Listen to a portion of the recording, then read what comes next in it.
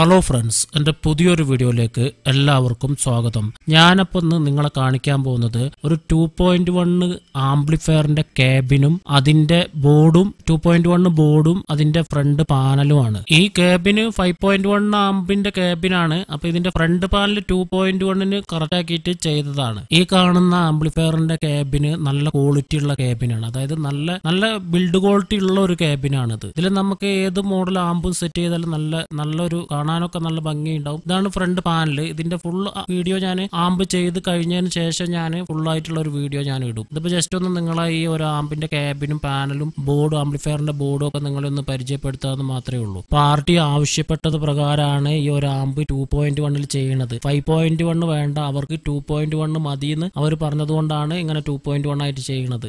ഇതാണ് two point one ആംപ്ലിഫയറിന്റെ board ഇത് five two double zero one nine four ത്രീയിൽ വരുന്ന ബോർഡാണിത്. ഇത് അത്യാവശ്യം കുഴപ്പമില്ലാത്ത നല്ലൊരു ബോർഡാണിത്. അപ്പോൾ വീഡിയോ ഇഷ്ടപ്പെടുകയാണെങ്കിൽ ലൈക്ക് ചെയ്യുക ഷെയർ ചെയ്യുക സബ്സ്ക്രൈബ് ചെയ്യുക. വീഡിയോ ഇഷ്ടപ്പെട്ടില്ലെങ്കിൽ ഡിസ്ലൈക്ക് ചെയ്യുക. Okay thank